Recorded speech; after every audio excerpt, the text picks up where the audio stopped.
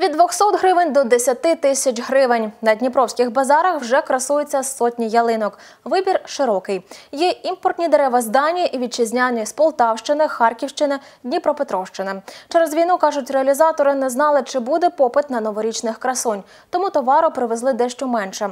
Однак ціну намагаються отримувати на торішньому рівні.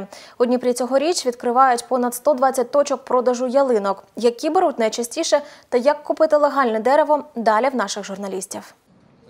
Ціна за таку у середньому 200-250 гривень діляться продавці. Це чотирирічне дерево. Вартість залежить від росту, адже що вища ялинка, то довше вона росла. У шестирічних на ціннику вже 7-8 сотень. Як продаватиметься головний символ новорічних свят цьогоріч, ніхто ще не знає. Але привезли дерев десь на третину менше, ніж торік. Привозные начинаются от 2000 гривен, ну полторы и выше. Вот, наша э, сосна идет от 600, 500, 600 гривен и выше. И она может полтора метра быть красивый шарик, соответственно, будет стоить полторы тысячи гривен где-то так. Вот, если вот такая вот, где-то вот гривен 800, 700, вот такая 500 гривен.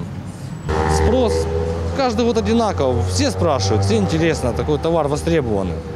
Вот, а так, чтобы покупали, слава берут. Є і ялинки з цінами до 10 тисяч. Це імпортні з Данії. Таку триметрову пакують для Олександри та її чоловіка. Дорого, кажуть дніпряни, але хочуть порадувати дитину. У нас сын маленький, это его первая елка, вот, э, ну, ему 8 месяцев.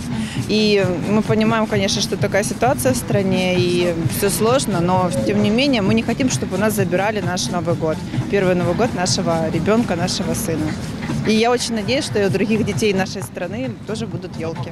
Імпортні ялинки, як з картинки, пишні, однак майже не пахнуть хвоєю, на відміну від українських сосен. Ціну продавці старались утримувати на минулорічному рівні. Деякі у вартості на 20% здорожчали через логістику. Однак навіть кілька тисяч на ціннику не зупиняють наших людей. Хочуть свята попри війну. Вообще даже не ждали, что они будут в этом году. Ну, страна сейчас бы как бы в военном положении, поэтому ничего такого даже и не ждали. Единственное, что для ребенка искали, искали, искали много елок разных. Но я вам хочу сказать, что пластик – это вообще не то. К сожалению, это вообще не то. Я даже за такие елки, не знаю, даже в нынешнее время ради дочки готовый тысячу и две заплатить. Потому что пластик все равно те же деньги стоит.